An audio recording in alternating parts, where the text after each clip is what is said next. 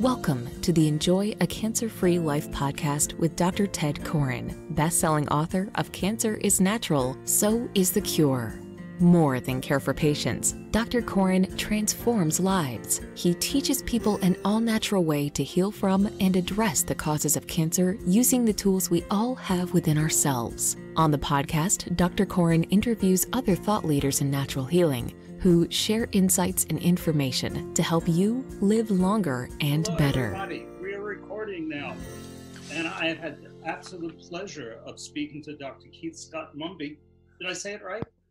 Correct. Yes. Now we've communicated over the years, but we've never spoken one. No, not face to face. No.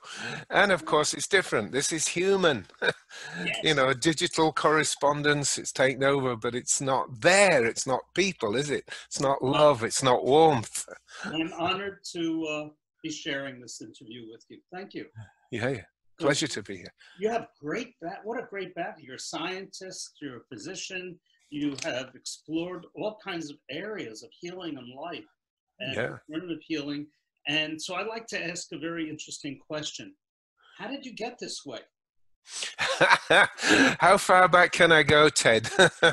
Thousands of lifetimes I've been on a path and get homing in closer and closer.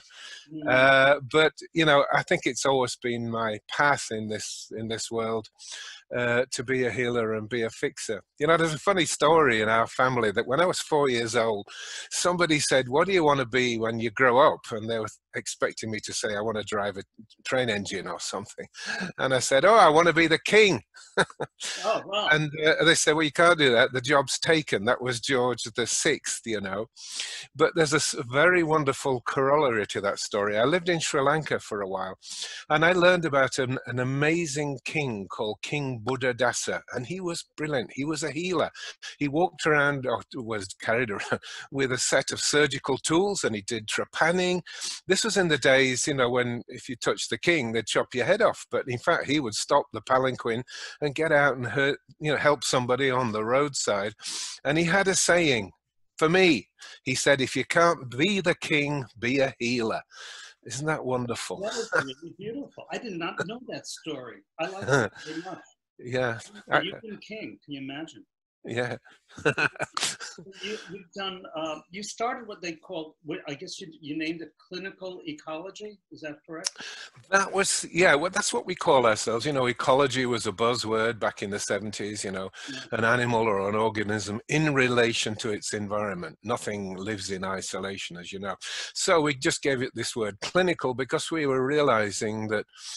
Uh, I mean, there's a, Tedd. There's a big fundamental philosophical difference here. Orthodox medicine thinks of people as busted. You know, there's a you're done. We we'll keep you going for the rest of your life on drugs and regular treatments, but you're done. It's busted. Now, our view, and your view, of course, is that there's nothing wrong with the person. Something is happening to them, and typically that's something in the environment. And obviously, environment includes nutrition. You know, it's not just pesticides and mosquitoes and things. Uh, everything that's outside of your body is having an impact. And if you overload, you know, that classic model of the barrel, things coming into the barrel and it overflows. And that by that we mean symptoms. Well, all that Orthodox medicine does, of course, is mop the floor to try and keep it dry, but it's constantly flowing over. Our view is let's get rid of some of these factors that are making the barrel overflow. Food allergy was a very easy one. Chemicals became obvious. Now, you know, some of us are very troubled by electromagnetic fields and so on. But you know, any stressor is overload, isn't it, Tedd? You know, whether it's you know facing examinations or a di- divorce, even a viral illness is a you know a temporary stressor. So uh, we need to get that burden down. And what happens if we do? Bang! The person gets well. So nature's been on the case all the time. So She's ready to heal. Say again. You're looking at a multifactorial approach. Absolutely. I call it the cascade, you know, and the last thing that happened is not the cause. That happened, then that, then that, then that, then that, and then the guy changed his job and got sick. It's not the guy changed his job and got sick. It's that, that, that, and that, plus changed his job and got sick. And So I call it a cascade. I think that's a good word for this Oh, particular effect. that. Yeah. Uh, it reminds me how the homeopaths look at life and healing. That uh, everyone is unique. I think in Chinese medicine also they say we have as many diseases as we have people. Yes, well, of course, that's true. I mean, Orthodox medicine treats this average individual. There is no such thing as an average individual. You can find somebody of average height, but does that, are they also of average weight or average longevity? There is no person that meets all the criteria of average. So Orthodox medicine is stuck on treating patients that don't exist. There any wonder they're getting bad results? Oh, yes, of, of course. cool way to say it. yeah, yeah, yeah, yeah. So Sure. uh, the the average uh, individual is some mystical entity that they worship, and I don't even believe in. Well, by the way, we have uh, something uh, else in common, Capital University. Oh yes, of course, yes. CUIM, uh, a short-lived but brilliant experiment. I I thought it's uh, tragic that it's no longer. that it was. I think it was. there, and you were a professor there. I was an associate. Sorry, I've just touched my microphone. Can you edit this out?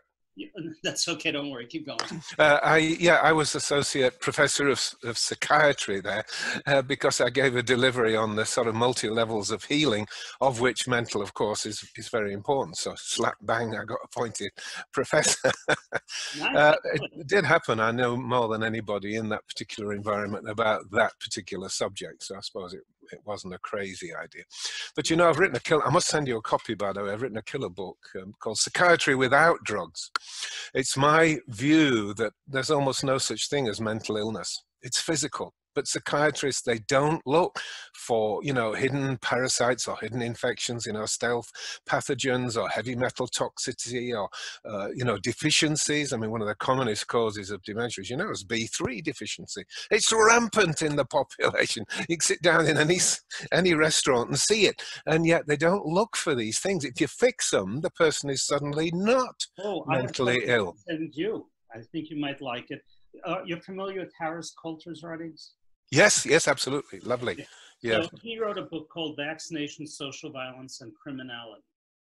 Um, that was after his book DPT: A Shot in the Dark that he wrote with Barbara Fisher. Yeah. Um, that book had a chapter that was removed. I call it the lost chapter, and I have a copy of that chapter, which Oh. deals exactly with what you're talking about. And he talks about how, of course, he relates it to autism and neurological problems and vaccination. But he says that um, as a result of the Nazis taking over Europe and scaring uh, many of the early psychiatrists away, they came to America. And they changed the course of psychiatry in America, whereas before it was looked at as neurological, then it started to be looked at as psychological.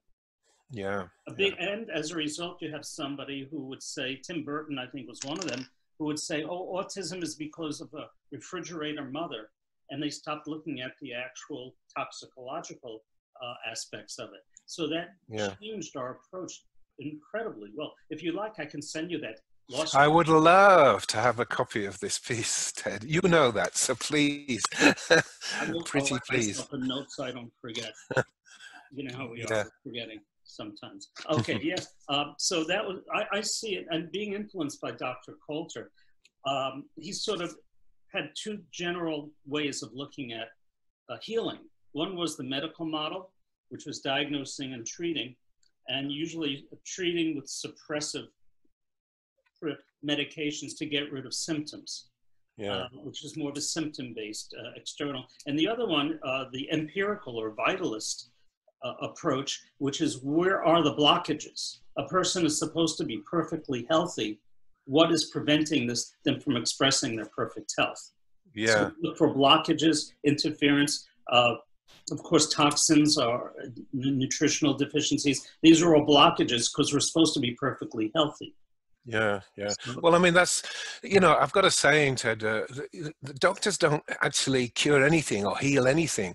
Uh, they, nature does that. All you can do is set the stage and then get out of the way. And they won't get out of the way. They think they did it, you know, the great I am.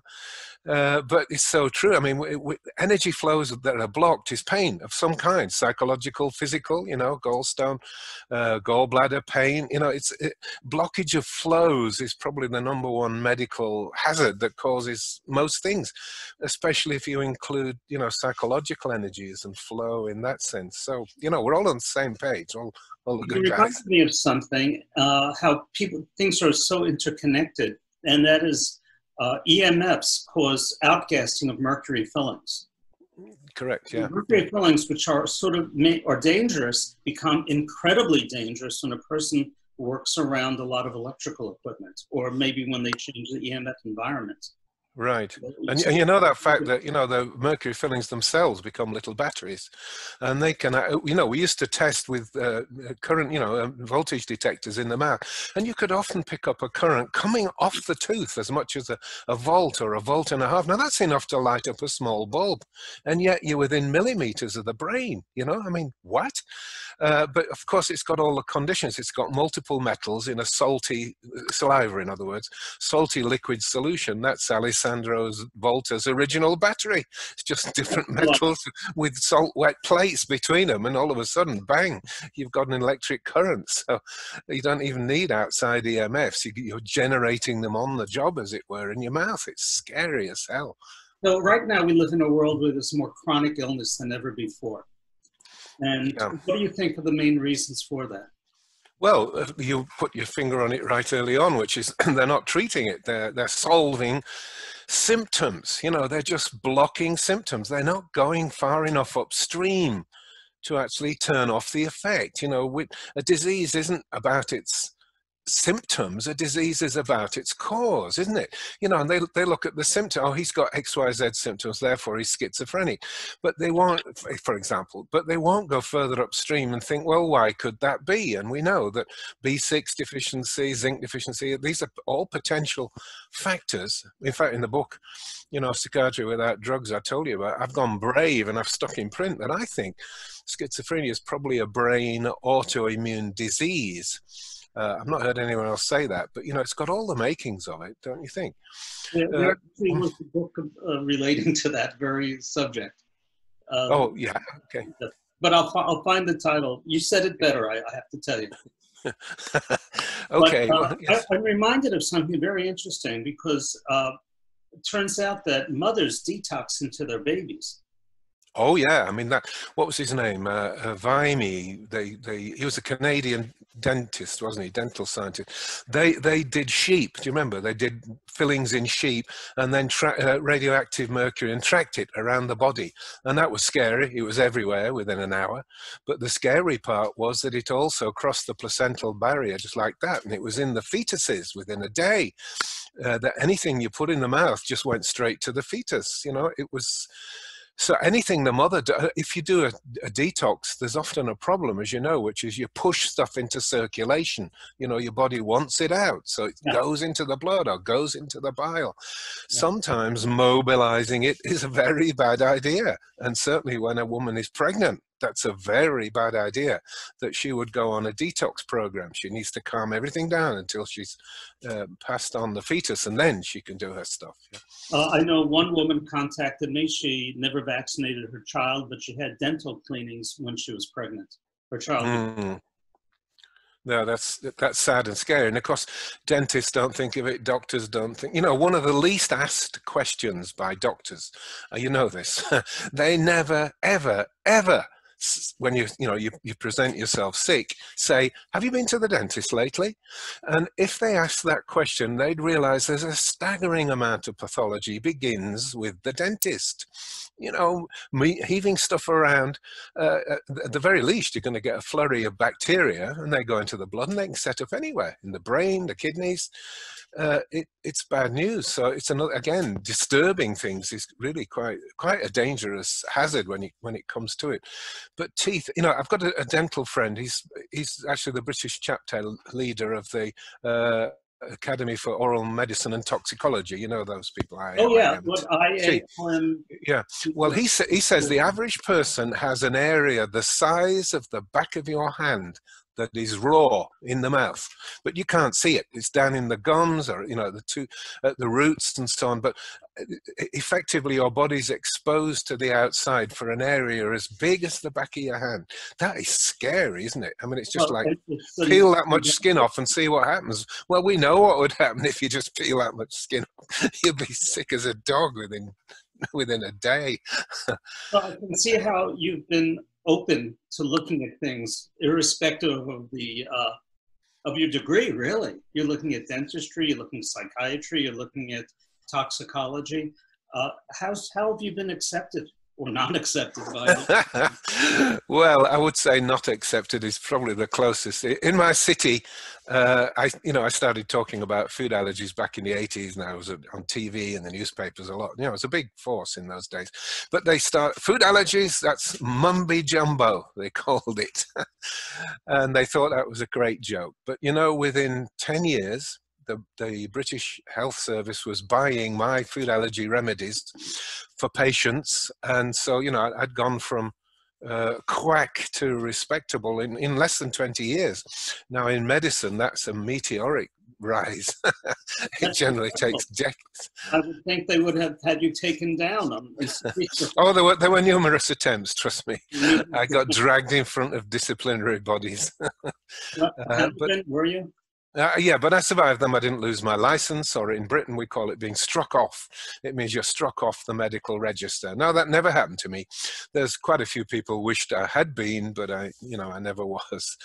Uh, because, say, say again. You have friends in high places? Oh no, no, nothing like that. But no, I think I'd swung, you know, almost single-handed. Well, anyway, certainly two or three of us together at the most had swung public opinion by then. So, you know, it, it, a lot of people, although doctors were fighting it, oh, it's not really an allergy, and, you know, arguments about what's supposed to be an allergy.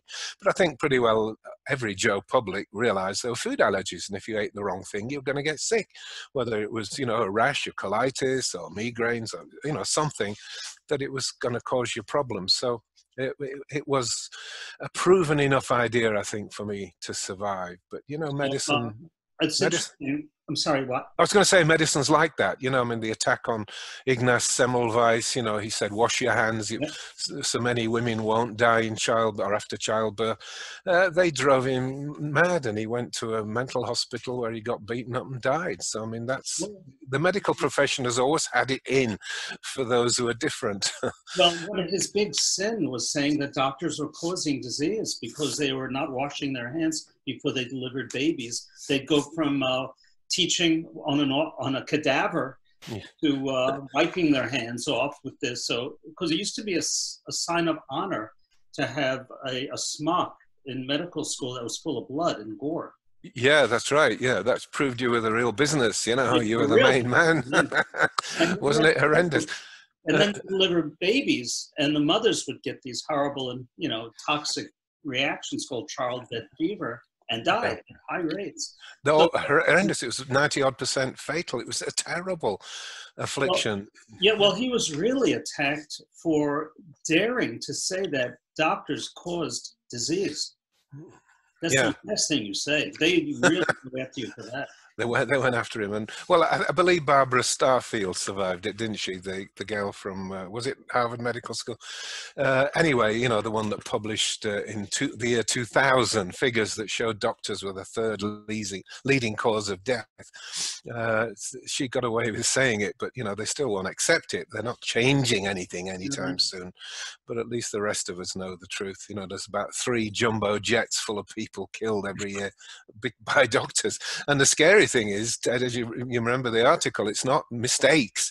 It's proper medicine, prescribing the proper amount at the proper time, and the patient still died. That was the scary part. I mean, well, that the majority of deaths in this country, I imagine it might be true in England, uh, UK, uh, for, uh, you're in the UK now, right? Well, I'm, I'm sitting talking to you in Las Vegas, which is where I live, yeah. but I'm originally British, yes. Las Vegas, oh wow. Yeah, yeah. Oh yeah, we love it here. I, I might get to visit you because we're planning a seminar later in the uh, spring. Okay, please, please do, and you know, drop by or come and stay with us if you want. But certainly, drop by. We'll have a well, nice. Maybe we'd like to say hi to our uh, audience uh, when uh, we get there, our live seminar. Yes. Okay. W- would be a pleasure. Okay. Well, absolutely about that. The uh, the it's been said that uh, the majority of people die uh, not from cancer but from chemotherapy. I think that's one of the very clear cut situations where, yeah, the treatment is more deadly than the disease. You remember the work of uh, Dr. Hamer, Gerd Hamer, yeah. who thought, and it was, it was a very good theory. I wouldn't say he's 101% correct, but his theory was that cancer has a reason. It's got a purpose. It's trying to do something. And if you leave it alone, when it's solved whatever it's trying to solve, it will go away. Well, we do know, you know, there is a large number of well, they call it spontaneous recovery, but I think, you know, a full natural recovery would be a better expression because clearly there's a reason why the person gets well and this is shocking to doctors. But the first, you know, really good study of that kind was the Norwegian study done in uh, about 10 years ago, where they just did a hands off with women with breast cancer and they just said, let's see what happened. And more than 25% of the women recovered completely. The cancer regressed, disappeared, and the others, of course, they had to step in. But it means certainly a significant percentage of cancers will heal naturally and it goes away. So, I mean, how deadly and how scary is that, for goodness say. It's not so scary, is it? I mean, well, that's I, the book. The title is "Cancer is Natural, So is the Cure." Yeah, the body creates tumors for a purpose. Yes, I, I, think they are purposeful, and usually it's walling off uh, toxins. You know, like trying to contain toxins in some kind of cyst, and then it goes wrong. Uh, tumor lysis, where the tumor breaks apart suddenly, uh, the person can go into a coma and die yeah, yeah, that is significant amounts of toxins in our bodies, and, and, you know, women women have the big problem. You know, they put all this gunk on themselves. Uh, I mean, I love the girls to look beautiful. My wife, I think, looks absolutely beautiful for her age, and she wears a little bit of lipstick and some makeup. But the gunk that women smear on, uh, you know, the actual figures, Tedd, that every woman absorbs about two pounds of cosmetics through the skin every year. Two pounds of chemical yuck. And it's the poor old liver that has to deal with this. So, you know, I listen, I, I, shower every day, sometimes twice a day, but I never use soap. I want my natural oils and I never put smelly stuff on and I never use skin cosmetics. You've got to be careful because, you know, industry doesn't want you to think there's a problem. You know, it wants you to think, it's all wonderful, this great scent will get you the best date this year. And there's no thought or no concept even of poisonous stuff in cosmetics. Well, isn't it a good thing the FDA is protecting us from all those things? Oh, absolutely not.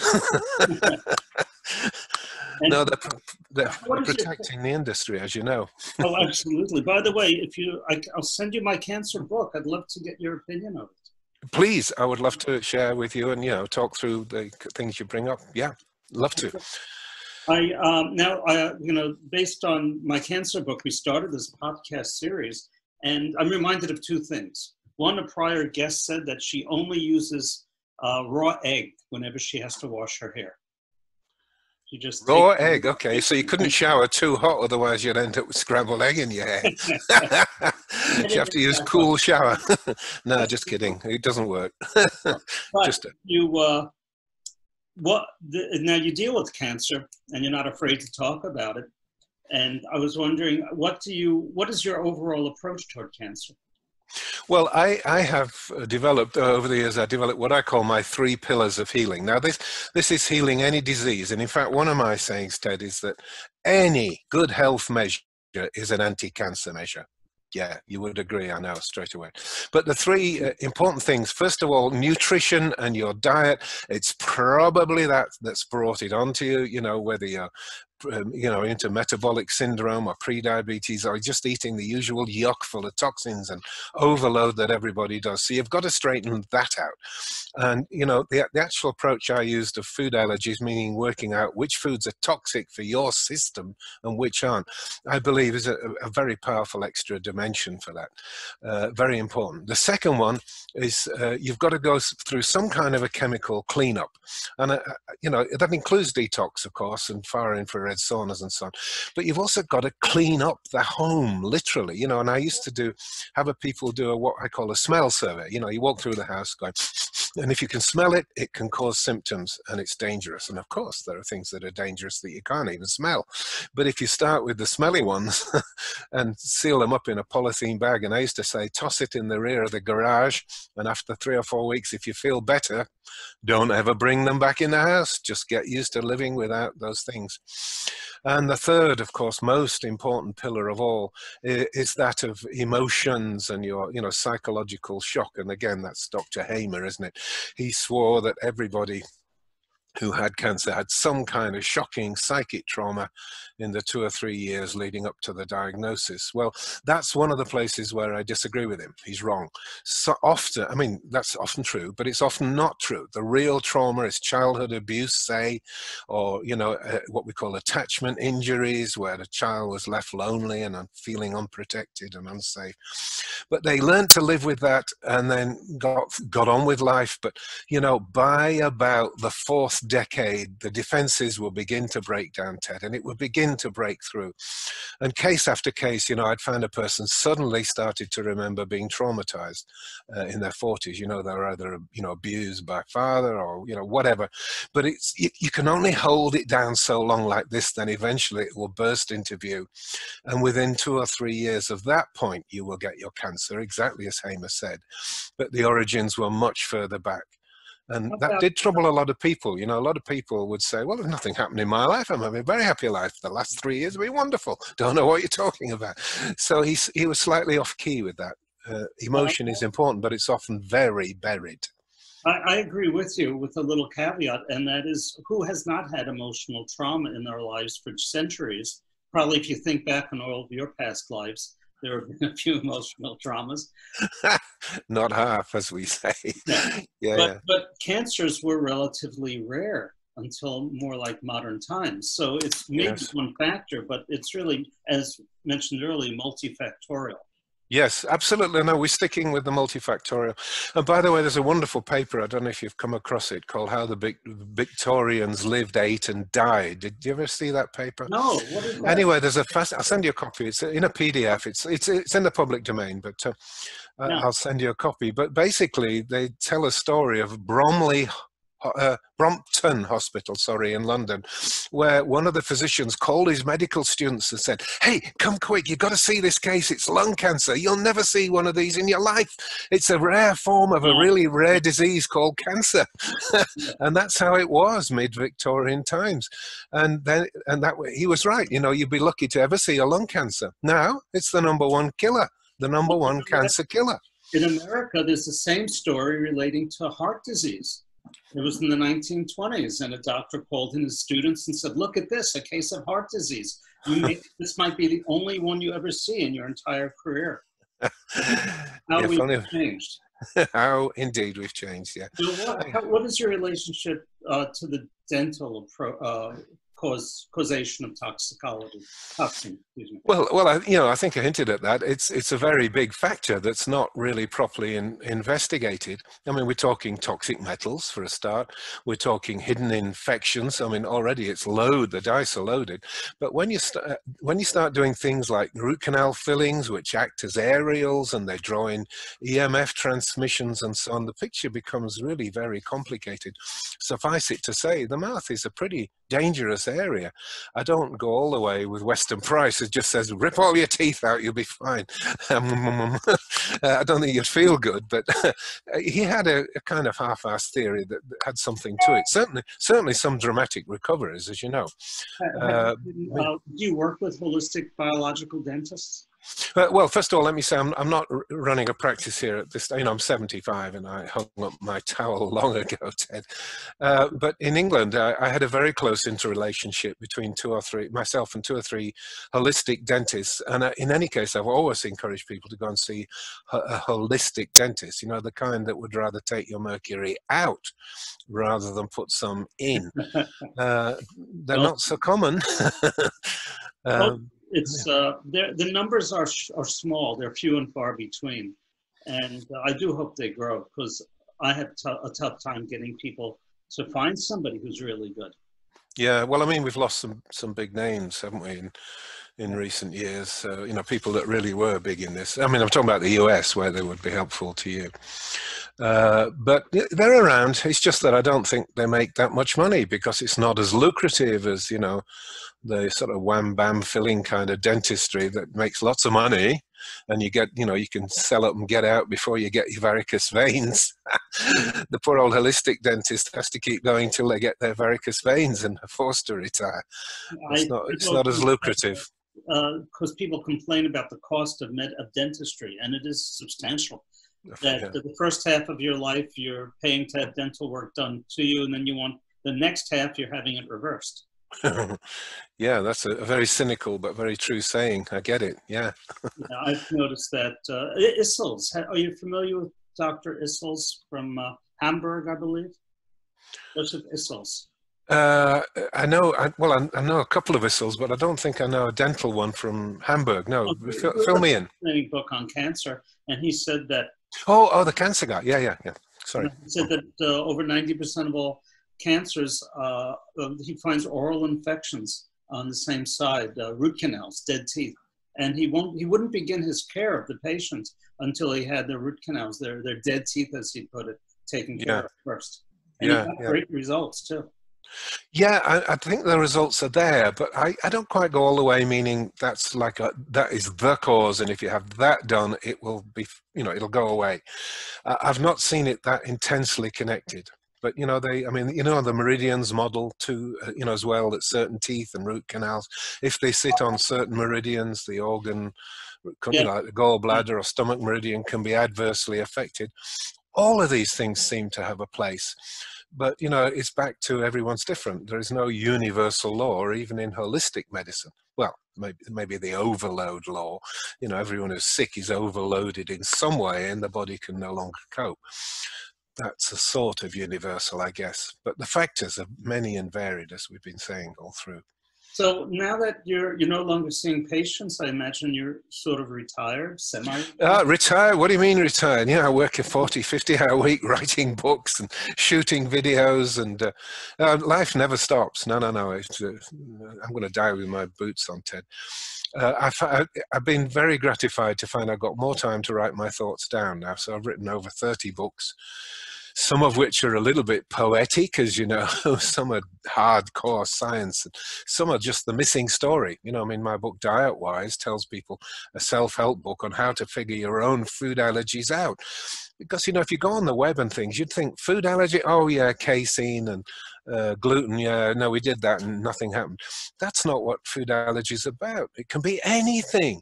You know, uh, I had, I've had people made sick unto dying almost with lettuce, with carrots, bananas, plums. But it never Uh, was that way before, was it? Say say again. It never was that way in the past, was it? Uh, you mean the the variety of food allergens, or, or what? Yes. The variety, Well, good, and the amount. Well, if you, I mean, one of the things that's wrong uh, and that causes food allergy is repetitive eating. The same thing over and over. You know, people eat wheat every day: bread, cakes, biscuits, pastry, pasta, pizza. It's all wheat, even though it looks different. In fact, a glass of whiskey is the same as a slice of bread. It's wheat or a grain, and it's yeast. Same thing. So that surprises a lot of people. Now, it's this repetitive eating that seems to cause the problem. In the old days, we had what was called a rotary, a rotatory diversified diet, and Mother Nature did that for us. You know, in spring, certain, you know, crops would come into fruition and you ate them, then they were gone, like tomatoes. Do you remember when we were kids, tomatoes, you had them for about 10 weeks in summer. That was it, gone. Now, there's tomatoes on the plate every single day of the year. You sometimes have to send them back saying, no, enough tomatoes. I don't want any. And what about when they kick them? Uh, they they pick them. They're not ripe. They gas them, and they go from being immature to rotten without having once been actually good for you. Without being healthy in the middle, yeah. Well, you know, we, that would be another long conversation, as you know, Tedd, what the food industry is doing with your food. But it, I can sum it up in one phrase it ain't natural, that's for sure. You know, acetylene gas to, to ripen your bananas and your tomatoes and things doesn't, it doesn't make sense. You know, there's, I, I don't know how they can get away with it, really. Well, I do. They, you know, they pay massive amounts of money money, of for lobbying, so that the lobbying means there are no laws passed to rein them in. Apparently, uh, I have to confirm this, but the FDA was paid $50 million by the Canadians to get canola oil approved. Uh, I I can believe that. now there is a you know there's a healthy version of what you call canola oil here. It's actually from the rapeseed rapeseed oil, and that's called the um, you know the olive oil of the north in Scandinavia. But it's a very pure form. It's not north as rapeseed oil. Yeah, yes, and, and, like I say, it's the healthy cold press version, and it's not, you know, disgustingly treated like the canola oil, which, as you know, dam- I mean, there's several things damages far too many carbs, uh, and it's not fats as such it's bad fats you know like trans fats vegetable oils. These are the real killer things in our environment and sadly, the food industry is working directly in their own interests against human health. And they know, why else would they spend 50 million uh, lobbying if they knew that their product was good anyway and was totally safe and therefore bound to be approved? They'd relax. But the reason they're doing it is they know it's dangerous crap and they have to sort of fast track it to get through all, all the obstacles. You know, I, I resented. Uh, in Philadelphia, listening to Emanuel Cheraskin. He was an MD dentist who wrote a book called Psychodietetics in the 70s. Uh, he actually had the nerve to say that the kinds of foods we eat affect us mentally. well, who does he think he is? couldn't be further from the truth. well, I heard him say this, and it wasn't until years later that I got the actual citations. This was a real study in which they took a group of rats, uh, well, a few groups of rats. One group they fed the breakfast cereal to, the other group, they just fed the box the cereal came in. and the, second one flourished. no, the group that ate the, the box lived longer than the group that. well, that's what I say. Yeah, I, I, I, don't remember. I remember. I remember Cheraskin. I read some of his materials long ago, but I don't remember that study. Oh yeah, and uh, uh, his, the way he said it was rather humorous. He said, "It's not that the, the cereal is bad; it's just not as good as the box." Well, I mean, you, you know, you've got to laugh your way through some of this, otherwise you want to spit and oh shoot, oh so shoot somebody. What are, what are the cool things that you do to stay to look so young and vibrant at your age? Uh, well, I put it down to champagne and Chardonnay. Now, I'm, I'm only slightly kidding, so a little bit tongue in cheek, listeners. However, I do think that quality of life is worth at least 30 or 40 years extra. You know, I'm doing my, my Peter Pan bit now. I'm 75, Tedd, and I'm, you know, I feel I'm, I'm going strong. I, I, I feel like I did when I was like 55. Don't even feel 60 yet. I suppose it'll come on me sooner or later. But, you know, the joy of living a vibrant, loving relationship that's very important. I enjoy my food and eat only quality food, but you know, I do drink uh, you know, I like wine and I like champagne. I'm on, on record with the BBC. They filmed me in an interview saying, Champagne is a whole food. There's nothing in the bottle but grapes and bubbles. um, and people think I'm being sarcastic, but you know, the, you know, all these studies of the Mediterranean diet, right? Well, because a lot of you, Amer- not you, of course, but a lot of you Americans are prudes and Puritans, they never mention the wine. You know, it's that you eat this and, you know, lots of fruit and fish and yada yada and lots of wine and they miss that out because it can't be true but in fact it is true you know and steve sinatra and i were talking on you know, doing an interview we we both realized we support the same thing the wine is the best part it has to do with camaraderie de-stressing Absolutely. entering a loving space and Absolutely. family and and i think the wine is critical and it winds you down and it's when you talk about the mediterranean diet they'll say look at these people eating this food they'll have 10 people sitting around a circle laughing and drinking and having a good time. Say, wait a minute, maybe it's the personal interactions and the closeness absolutely, absolutely. You know, if you're going to rush into, uh, you know, some fast food store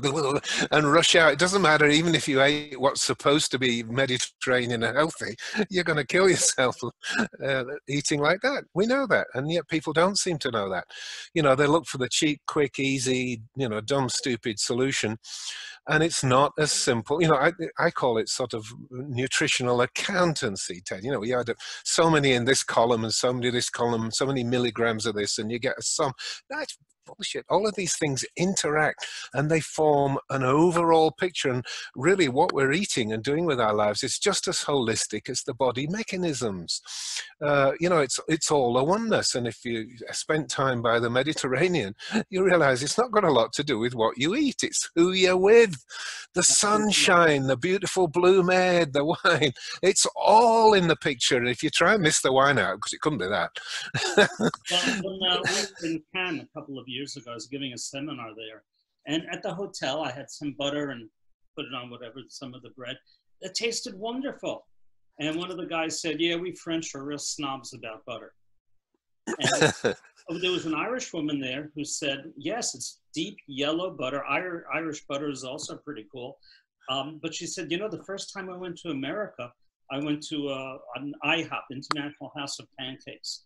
You familiar with that? I oh, I know the play. I've never set foot in the door. I'm pleased to well, say, but yes. Decision. Apparently, he said she and her uh, husband were there and his family. She was visiting his American family, and they they poured this white stuff over the pancakes. And she said, "What is this white stuff? Cream? You put cream on your pancakes?" They said, "No, it's butter." She said, "I've never seen white butter before." And yet, this is an American acceptance. Butter with no nutrients is white butter. Yeah, yeah. Well, it's probably half air as well. You know, they've worked out the way to sell you less butter. They fluff it up with air so it goes soft and fluffy and it goes white. Um, but of course, it's like 50% less of anything. It's just air pockets. Yes, but we pay the same amount for it. That's the important thing. well, yeah, this anyway. is great. We, unfortunately, we've run out of time. Actually, we've gone over, but you're such a pleasure to speak to.